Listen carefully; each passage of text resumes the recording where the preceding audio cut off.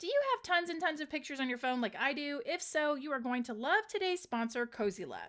Cozyla is not your typical digital frame. This frame does so much more than just display your pictures. It comes in a couple of different styles, some that are more sleek and others that have a wooden border. Now, when you receive it, it'll come in this pretty blue box and assembling it is a cinch. You simply take the provided leg and feed your power cord through that snap that into the back of the digital frame, put your leg on, and you are ready to go. Once it's assembled, you can display it in either portrait mode or even landscape mode, whichever you prefer. Now, once you've got your frame placed where you want it, the setup is a breeze. A QR code will pop up on that digital frame. You simply scan it with your phone, and it'll prompt you to download the app. Once the app is downloaded, just go through the prompts to get it set up. Now, one of the steps is to create a username for a unique email address. This is one of the features of the frame. This email address is going to be something that you can give to friends and neighbors and family members, and they can send photos directly to your frame. You can add photos from email, phones, Google Photos, and even Instagram.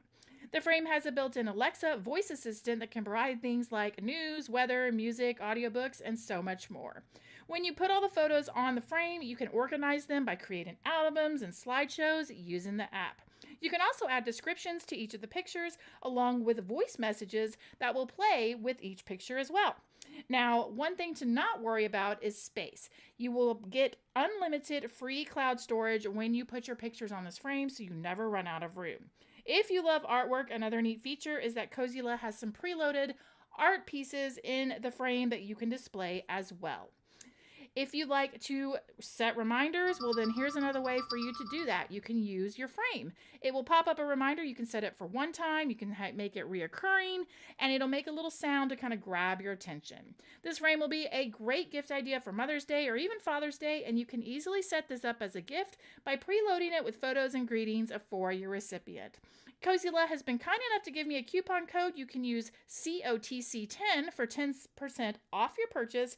All of the information will be linked down below in the description box. Now, back to the DIYs.